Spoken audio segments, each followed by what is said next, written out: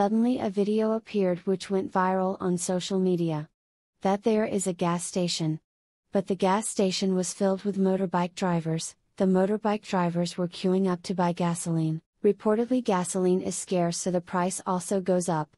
Therefore, motorcycle drivers are waiting in long queues to get to the highway, to be able to get a gasoline. Hopefully, today's news is useful. Don't forget to subscribe, like, and comment, guys.